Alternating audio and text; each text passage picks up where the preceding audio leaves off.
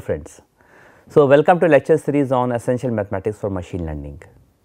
In the last lectures we have seen uh, the basic concepts of calculus. We have seen that how we can find out gradient, Jacobian, Hessian matrix, partial differentiation etc. Uh, if a function of several variable is known to us. Now, in these lectures uh, we will see that what are the basic concepts of optimization which is required in machine learning. So, let us start with convex sets, what convex sets are. So, while dealing with the algorithm related to machine learning, convexity plays a vital role. Several results have been developed in optimization theory based on the concepts of convexity. What are they we will discuss later on. Uh, first we will uh, go the basic definitions of convex set and convex functions. So, when a set is said to be a convex set, so a set S subset of Rn is called a convex if for all x1 x2 in S and lambda between 0 and 1 lambda x1 plus 1 minus lambda x2 is also in S. So, what do you mean by see, uh, this? Let us see, let us let us uh, understand, try to understand. Say uh, say say you have uh, you have a circle. Say the circle is x square plus y square equal to 1 and suppose we are dealing with a uh, with the region inside the circle. Okay? Suppose we are dealing with a region inside the circle. That means uh, that means this region. Okay? So this is s. So what is what is s basically? Xy is all those xy such that x square plus y square is less than equal to 1 okay? So we are dealing with all those xy in r2 such that x square plus y square is less than equal to 1. So, so what this S is? This is including boundary and including all the point inside the circle. Now, if you take any two point in this region, you take any two point anywhere in this region, join this line segment. This line segment is also is always inside this region. You take two points here and here, join the line segment, the line segment is inside this region. You take two points here and here, join the line segment, line segment is inside the region. So, this set is a convex set. So, convex set means that if you take any two arbitrary point in the in the set, the line segment joining those two point lies completely inside that set. So, that set is called a convex set. So, geometrically if we say that a set is convex or, or set may not be convex, if a set is convex that means you take any two arbitrary point in the in the set, join the line segment, you take two points, join the line segment. The line segment joining these two points lies totally inside the set. So, that means set is a convex set. So, suppose you have two points say x 1 and you have another point say x 2 and say you have a any point x in between these two points. Suppose this x divide this line segment this line segment in the ratio say uh, 1 minus lambda is to lambda. Okay, this is, this is A, this is B, suppose this is C, then I am taking AB is to BC as 1 minus lambda is to lambda. Okay. So, so if you want to find out, so first of all this B must be in between x1 and x2. So, to ensure that this B is in between x 1 and x 2 that means these two ratios must be non negative because if any one of them is negative that means this point B will go outside C or outside A. We want B to be in between x 1 and x 2. Okay. So, that means ratios must be non negative lambda should be non negative and 1 minus lambda should be non negative. So, this implies lambda is less than equal to 1. So, from these two we can say that lambda is less than equal to 1 and greater than equal to 0. And if we take x, so what are the coordinates of x? What x will be? So, x will be nothing but from, from the section formula one can easily see that this x is nothing but lambda x 1 plus 1 minus lambda x 2. Okay lambda varies between 0 and 1. You take any lambda between 0 and 1, this x will move. This x will move in between x 1 and x 2. You take lambda equal to half, it will give a midpoint. You take lambda equal to 2 by 3, then this will be some point over here. So, in this way this lambda will move in this region in, in this line segment x 1 and x 2. We want we want that any x which is in between x 1 and x 2 should must belongs to S. So, that means for all x 1 x 2 in S and lambda between 0 and 1 lambda x 1 plus 1 minus lambda x 2 must be in S.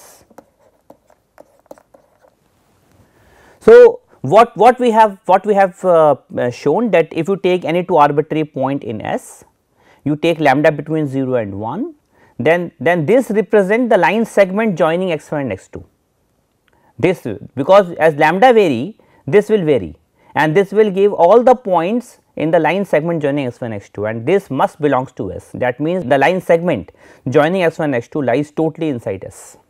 This means S is convex, S is a convex set in Rn. Okay. Suppose you have this type of figure, okay. this is the region, say this region is Q and you want to see whether this region Q is convex or not. If you take two points here and here join the line segment, the line segment joining these two points is totally inside the region. Okay.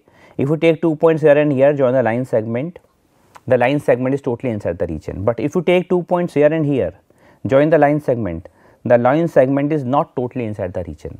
So, this set is not convex. So, we can see that if a set is convex that means that means you take any two arbitrary point in the set join the line segment the line segment must be totally inside the inside the set S. But if there exists at least one pair such that the line segment joining do, those two point does not lies completely inside the region S then set is not a convex set. Okay.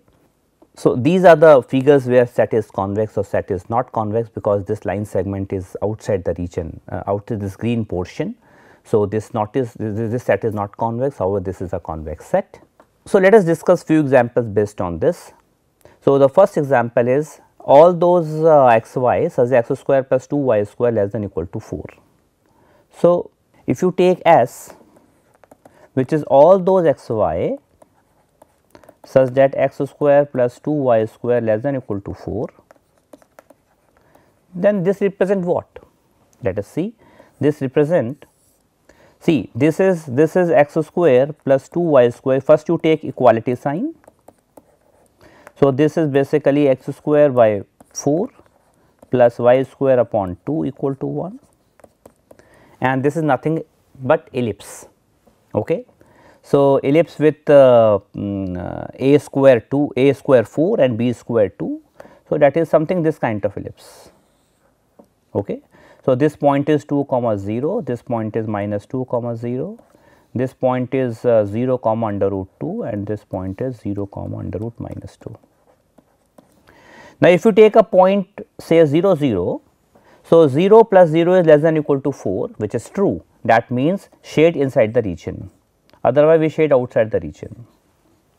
Now, if you take any two point, any two arbitrary point anywhere in this region and join the line segment, the line segment is totally inside the region. So, that means this set is a convex set. You take any two arbitrary point anywhere. So, this set is a convex set. Okay. Now, if you see the second example, the second example where x y all those x y in R 2 such that y square is greater than equal to 4 x. If you see this it is all those x y such that y square is greater than equal to 4 x. So, first you first you take the equality sign which is nothing but a parabola. So, you draw a parabola. So, this is y square equal to 4 x. Okay. So, this is basically x and this is y. Okay. So, if you take in this way then it is okay. Uh, because symmetrical about uh, it is symmetrical about uh, x axis. So, it is uh, y square equal to 4 x. Now, if you take a point say you take a point here say it is uh, 1 comma 0. If you take a point on x axis which is 1 comma 0. If you take a point 1 comma 0 then uh, it is y is 0 and it is 1. So, that means this is not satisfied. So, that means region outside the parabola. Okay. Now, if you take uh, two points, one point here, one point here and you join the line segment, the line segment goes outside the region. So, this set is not a convex set.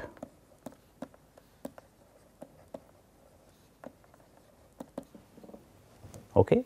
Now, uh, we have a problem here check whether the given set this is convex or not. So, uh, let us let us draw this uh, graph of this uh, S and let us see whether given region is convex or not. So, what, what is the region? What is the region S?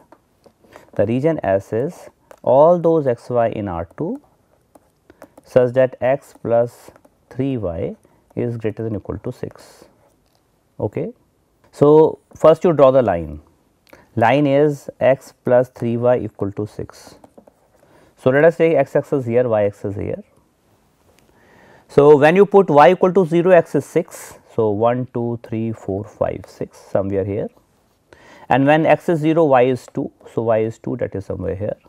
So, you draw this line. Okay. So, this is x plus 3 y equal to 6. Now, you take a point on either side of the line either this side or this side. You suppose you take a point 0 0. 0 plus 0 is greater than equal to 6. It is not true, it is false that means shade opposite to this region, shade opposite to this point that is here.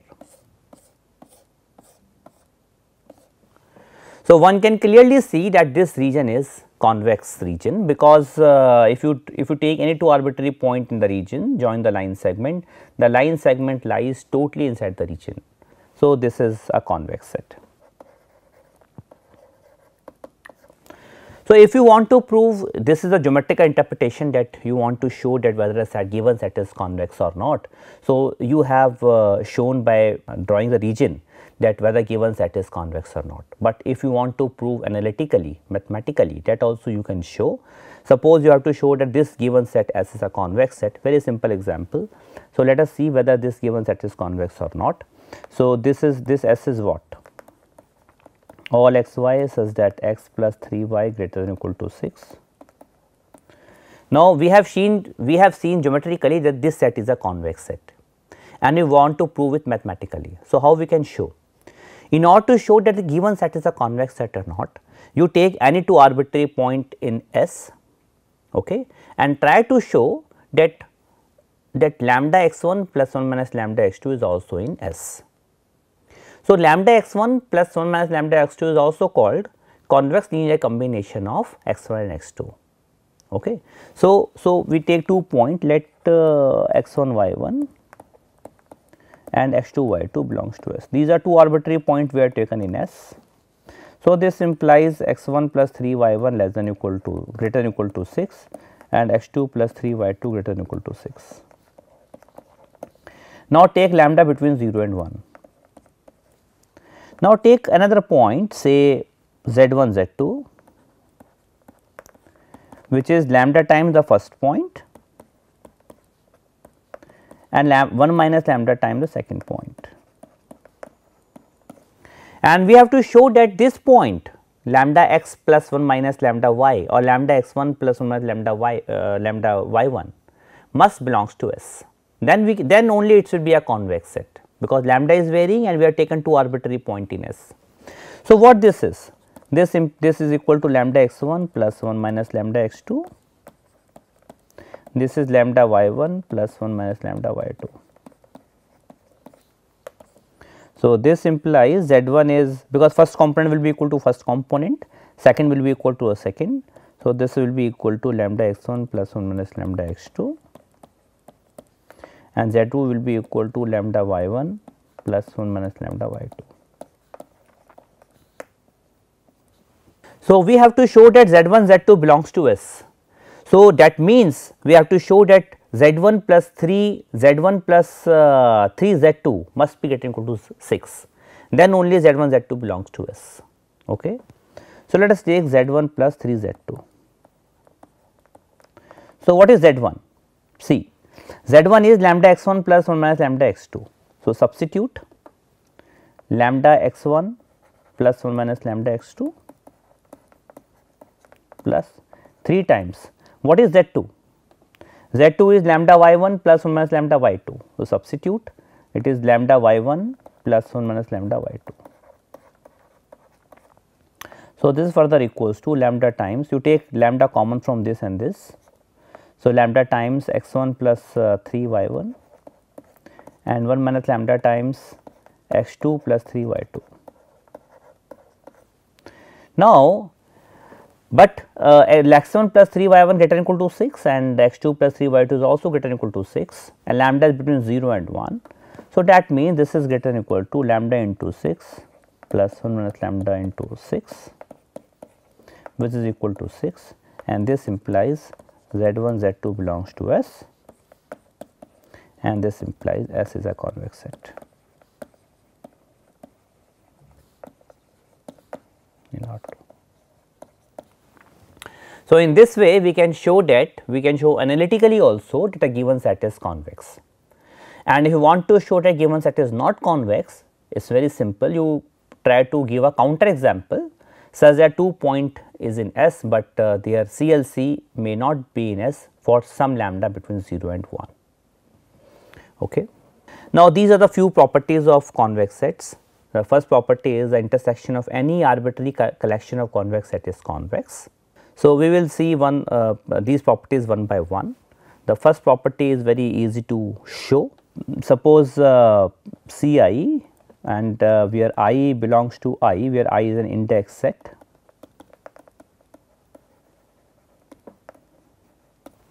Okay.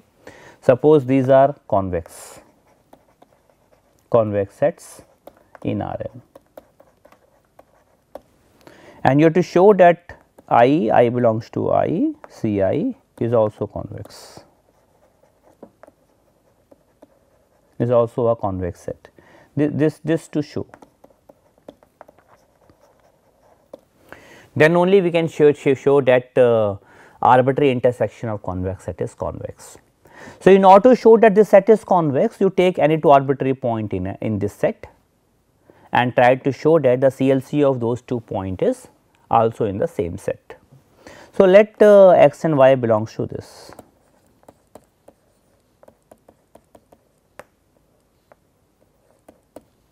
So, this implies x y belongs to C i for all i. Because if x y is in intersection that means x y is in uh, C i for all i. And uh, this implies lambda x plus 1 minus lambda y is also in C i for all i. Because all C i's are convex sets. Hmm, because uh, since uh, C i's are convex sets for all i.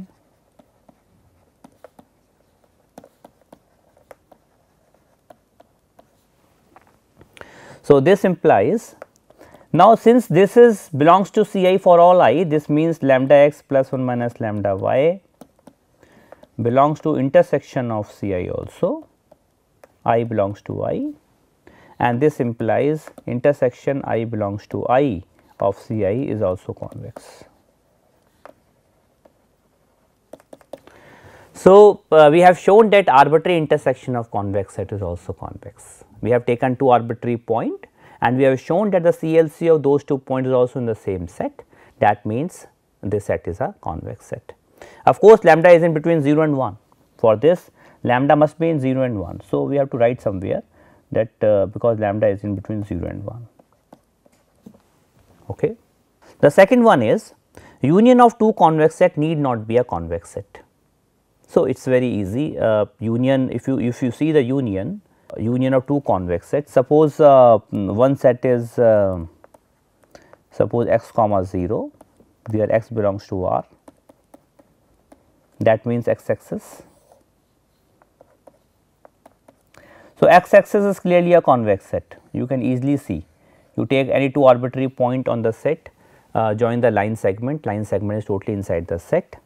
You take S 2 suppose it is 0 comma y such that y belongs to R. This is y axis basically is also convex. So, S 1 S 2 are convex sets.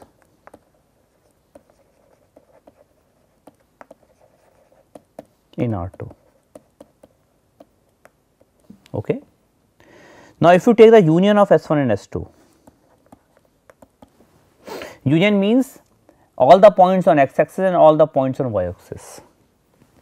Now, if you want to show that uh, this is not convex, so you take say 1 comma 0 belongs to S1 union S2 of course, it is in x axis and 0 comma 1 also belongs to S1 inter union S2 because it is in S2. But if you take the midpoint of these two, but their midpoint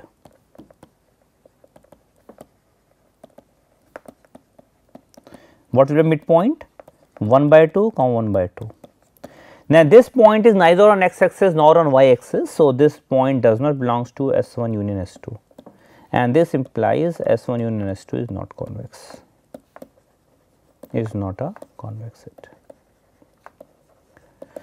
So, to disprove that the given set is not a convex set, give a we have to give a counter example. So, here is a counter example, we can construct infinite number of counter example of such type where S1, S2 are convex, but union need not be a convex set. Okay. Now, in the same way we can easily show that the vector sum that is C1 plus C2 of two convex sets C1 and C2 is also convex. So, uh, how to show this you have uh, to take uh, two arbitrary point in C1 and C1 plus C2 and try to show that the CLC of those two points is also in the same set.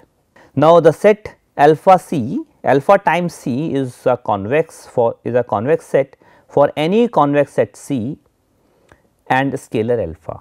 So, this is also easy to show let us let us see uh, how we can uh, prove this.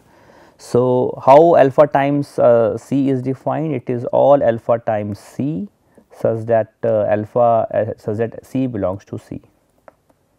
Here alpha is a fixed scalar, alpha is a scalar. Okay. So, here uh, it is given to us that C is a convex set in R Rn, C is a convex set in Rn. Okay and you have to show that alpha c is also convex.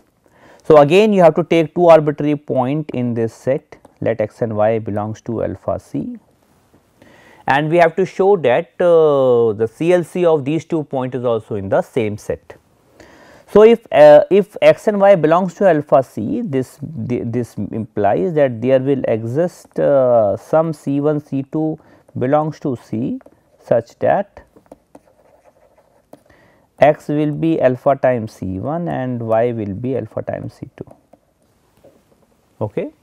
Now, you take up you take the CLC of these two points lambda x plus 1 minus lambda y okay, for lambda between 0 and 1. You take this. So, this will be nothing but lambda times alpha C1 plus 1 minus lambda times alpha C2. So, this implies you take alpha common. So, it is lambda C1 plus 1 minus lambda C2. Now, this point will be in C because C is a convex set because C1 C2 is in C and lambda between 0 and 1. So, this point will be some point in C and this is alpha times that point. So, alpha times a point in C is in alpha C. So, this means this belongs to alpha C because uh, because L lambda C 1 plus 1 minus lambda C 2 is in C. So, in this way we have uh, we have uh, shown that alpha C is also a convex set for a scalar alpha and C is a convex set. Okay. So, in these are the few properties of convex set which we will used in optimization basically. So, one should know that uh, these properties are important. Okay. Now, let us come to convex functions what convex functions are. So, let us try to discuss that let uh, S be a subset of Rn be a convex set. A function f from S to R, S is a convex set from a convex set to R is said to be convex over S if for every x1 x2 in S and for any, any lambda between 0 and 1 this inequality hold. And if this inequality hold in a strict sense that means instead of greater than equal to it is strictly greater than this thing then the function is called strictly convex function.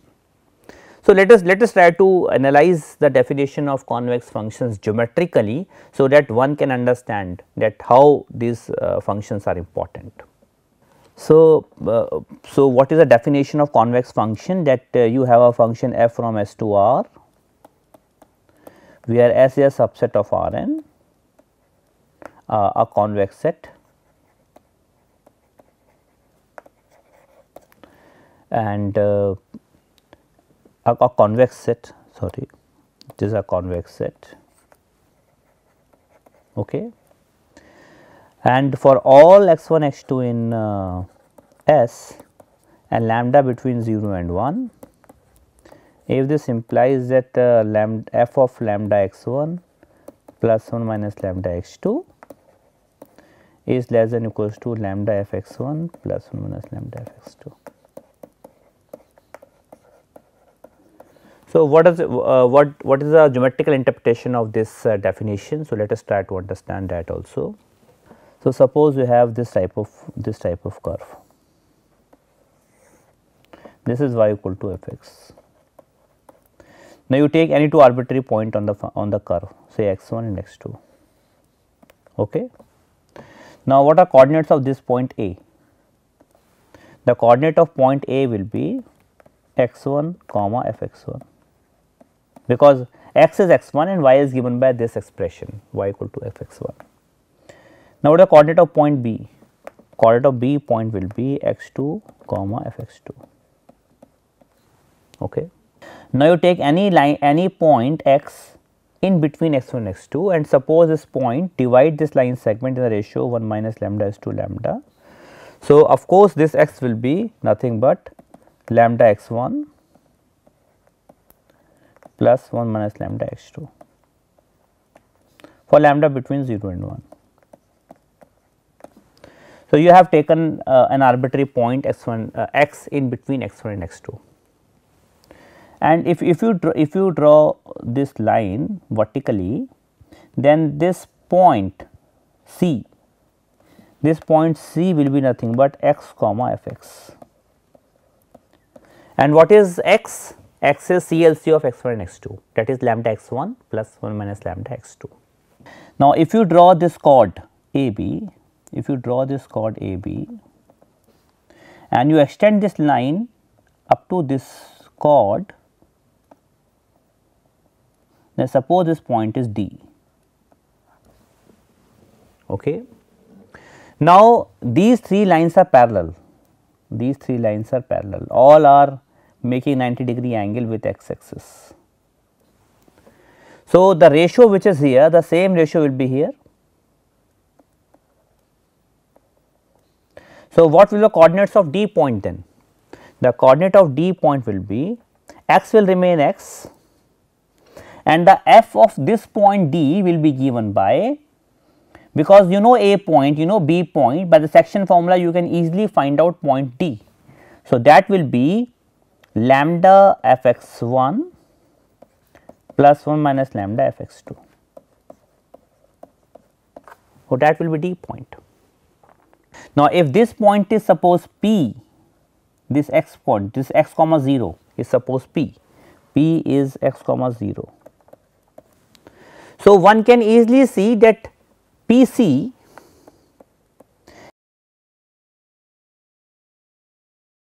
if it is a straight line here here if it is a straight line it may be equality also okay? And what is pc pc is nothing but pc is nothing but uh, fx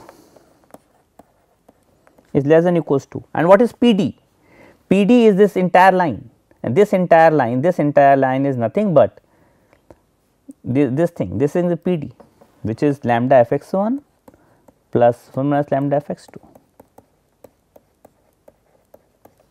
So, which is nothing but this is nothing but the definition of convex function x is x is this thing okay.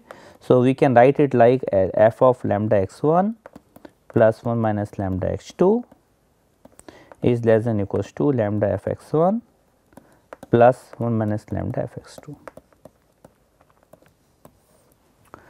So, so what, what we have uh, analyzed basically see That means, if you take any two arbitrary point on the function on the curve and join the chord, then the chord is always above or on the curve. See this chord is above the curve that is why P, PC is less than equal to PD. Okay. That is why this inequality is holding. So, that means that if you take any any two arbitrary point on the curve join the chord the chord is always the chord joining those two points is always lie above or on the curve. Suppose you have this type of function suppose you have this type of function. So, now you have to see that this is convex or not see if you take any two arbitrary point on this on the on the function on the curve then join the chord the chord is always above the uh, above the curve. You take two point here chord is on the curve. You take two point here join the chord chord is above the curve. Two point here join chord is on on the curve. So chord is all also uh, either above the curve or on the curve. So this function is convex you take a function like this say say this function you take any two arbitrary point on this join the chord chord is always above the curve you take two one point here one point here join the chord chord is always here on the curve. So, in this way we can see that this function is also a convex function. If you say this type of function, this function. Now, if you take one point here, one point here, join the chord, chord is below the curve. So, this function is not convex function. However, in this portion from here to here it is convex. If you take one point here, one point here, join the chord, chord is above the curve. In this portion it is convex, but if you see as a whole from here to here. So, from here to here it is not a convex function. Okay. So, uh, here is the geometric interpretation of convex functions which we have just discussed. Now, concave function. So, uh, a function f is called a concave function if this inequality is reversed. Okay, that means a concave function if and only if minus f is a convex function. So, geometrically how can we explain for concave function?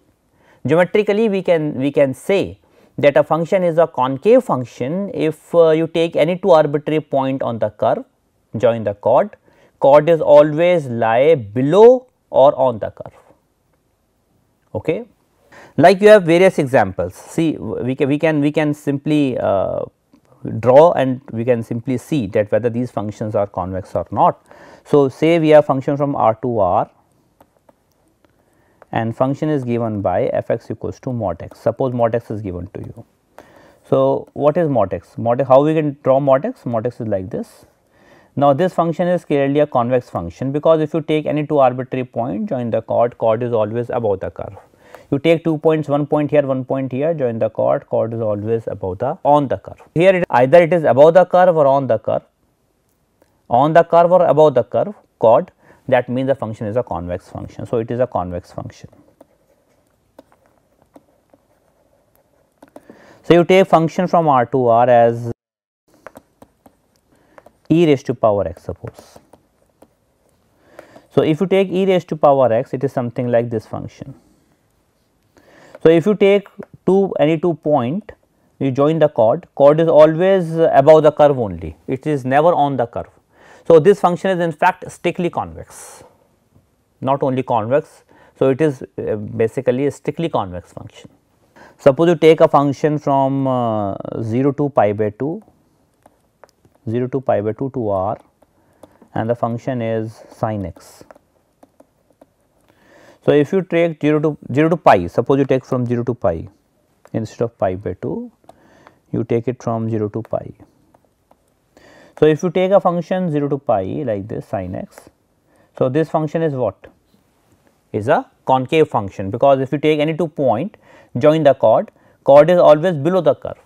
So, this function is a concave function.